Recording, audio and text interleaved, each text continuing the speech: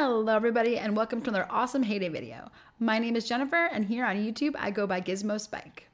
I'm super excited today because we have got another sneak peek for the upcoming Hay Day update. We're getting a new sanctuary building, which means that we're getting a new sanctuary animal. It also means we'll probably be getting two new decos since we usually get two new decorations whenever we get a new sanctuary animal.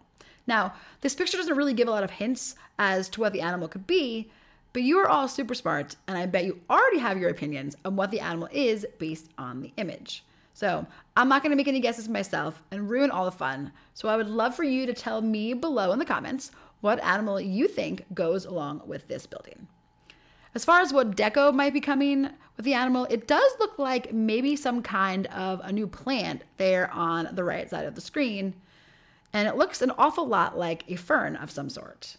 I also noticed at the very top of the image what looks like a piece of rock wall, like what it looks like on pieces of unopened land. So, will we also be getting some new land in the sanctuary as well? Because it's getting pretty crowded over there, so I kind of hope so.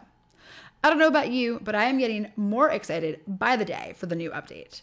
What we know so far is Farm Pass and now a new sanctuary animal.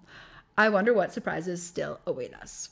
I guess only time will tell, and we'll just have to wait patiently for another sneak peek or the update to come.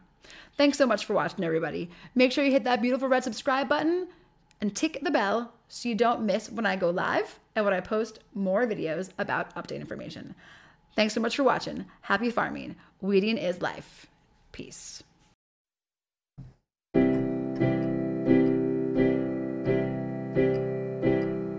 It's Hay Day,